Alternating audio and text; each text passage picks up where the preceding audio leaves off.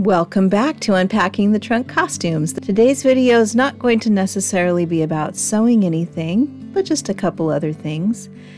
This first clip is of a Husiff, which Abby Cox made for me because her and Noelle from Costuming Drama hit 10,000 subscribers on Instagram. Congratulations! And as a giveaway that I entered, they um, uh, Abby made me this beautiful little husiff. So here I am looking for all the bits and pieces I want to put in there. It's so cute. So I found some pins to stick in the in the little pillow part. Um, I love the colors that she used. It's so useful, and we actually have a, a trailer, and I'm gonna be probably keeping this in my trailer just for those just in case things. So there's some buttons I put on a little safety pin. I have a lot of stash, meaning stuff that um, I find in antique stores and thrift shops, and I am putting some of those little nifty things into my husiff. There's a little packet of old needles. Those will come in handy. You know, I I probably should have put a magnifying glass in there too of some kind. Those look like really tiny eyes. And there's some thread. See that little seam ripper way, way back there? That that actually ended up in there too. There's my little my little plastic thimble. I love this. I love this so much. It's so special. So there it is. And this is the card that Abby sent me um, and I love this quote When you don't dress like everyone else, you don't have to think like everyone else. And it's from bad girls throughout history. I love that. So here's some things that I find at antique stores and thrift shops. This is a neat little sort of ruler with a almost like a lip on the end of it, like a T square. This is a little looper threader, looper and needle threader. It's kind of nice. Another loop it's a loop turner. I had one of these years ago. I wish I still had it, and now I, I have another one. And here we have, uh, oh, a drawn iron pencil. I don't know when I'll ever use that, but gosh, you never know. And here is some Mark-B-Gone tracing paper. You know, it cracks me up is to look at these packages and see the prices on them. Here's a nice Always need one of those. Tape measure and some pins. A little packet of needles for 30 cents. Yeah. Beading needles. And here you go, 19 cents for a packet of six different kinds of yarn needles. This is funny. These little three pieces here were in somebody's um, pill bottle. so there you go. And that was too. Yeah, that was handy. Um, Tailor's chalk can always use that with a little sharpener critter on the top. Uh, grommet setter. Thank you. I really needed one of those. These things, I don't know what they are. If you can tell me what they are, um, put something in the comments. it looks like a little mouth, but it has a kind of a cutting edge on one side of it. This I have no idea. I, I, I it's something to do with knit, knitting, crochet. I, I have no idea. No idea what that is. And Velcro, always useful. So it always makes me kind of sad when I see old sewing machine drawers, but it also makes me really happy. Uh, makes me sad because they've been taken off an old sewing machine that probably should have been left intact, but it makes me happy because I love the storage. And this one came with everything that was in it. So there's a bunch of old thread and um, buttons and trim and all kinds of of little things. I should I'll go through all this and try to figure out exactly what it is I've got. And then uh, it's so pretty. I think it's just so pretty. I have another set. It'll go right beside it. And um, here's the bottom. It's got sunflower seeds in it. I love sunflowers. Love them. So maybe I'll plant those. I don't know. More buttons and pins. Yay, pins. And more buttons. It looks like maybe somebody's little brooch or something came apart and they put it in the drawer and said, oh yeah, I'll get around to fixing that and never did. So that looks like part of it and that looks like part of it and uh, there was another piece of it in there. There it is. This was a whole packet of stuff that I picked up that was in like a Ziploc bag. All of this bias tape. You know, you ever wonder about that lady on bias tape? Who was she? I wonder who she was. That lady with the short hair and the white shirt. Anyway, it had lots of buttons in it. A little packet of that was I think that one was separate, a separate packet of buttons, but there's a whole random set of buttons right there. Yay buttons, yay thimble. This was in it too. This was a 1947 Singer Dressmaker's Guide. I love the pictures in it. And I think it's always so nice to have dressmaking guides from times past because it tells you how they made clothes then. It's the biggest lineup in town.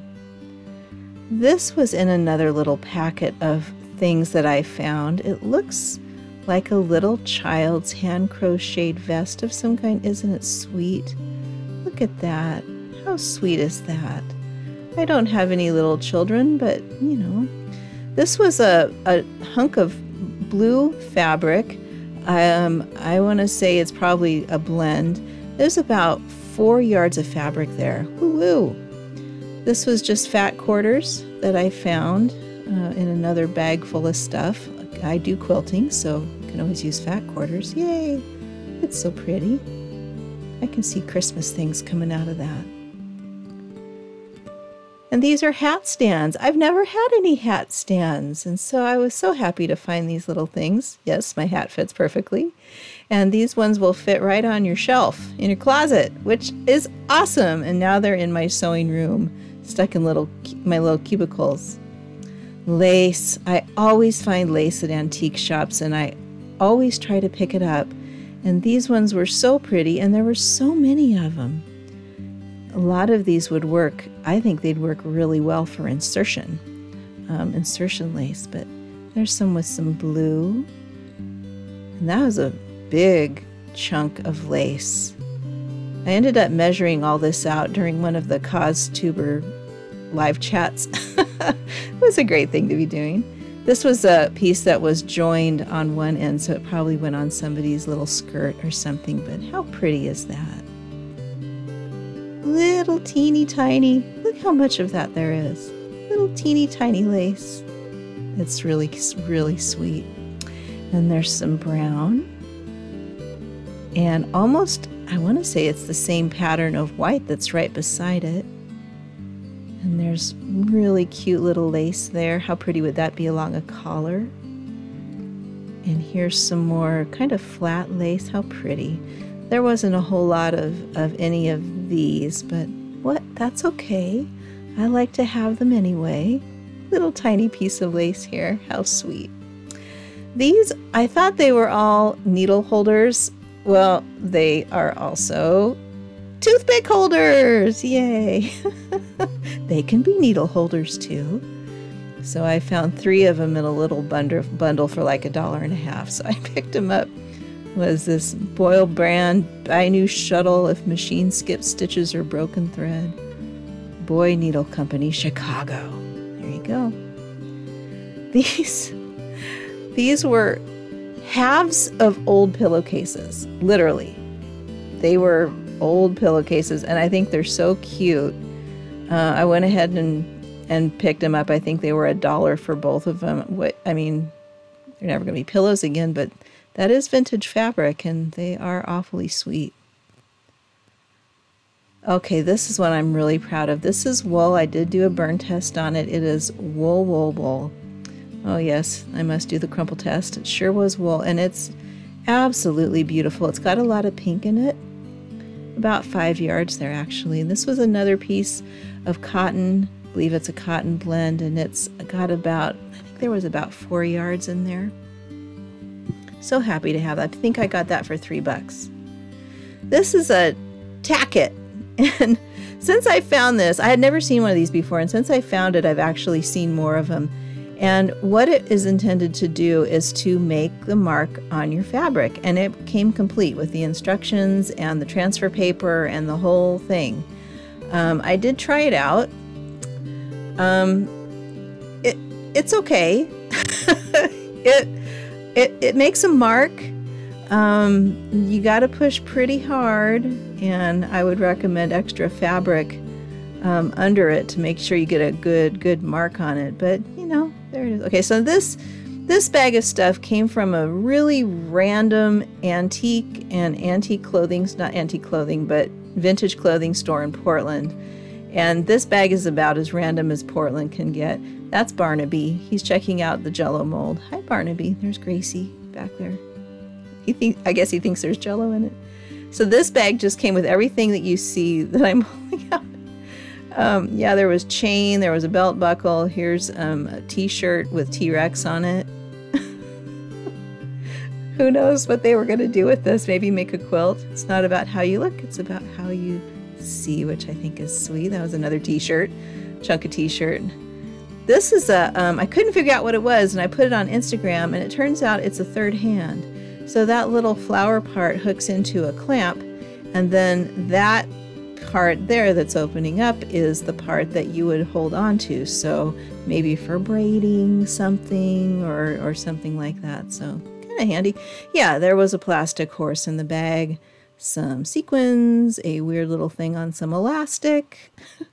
now, this is my best find. I found this for $40 at an antique store. My father worked for Montgomery Wards for over 20 years.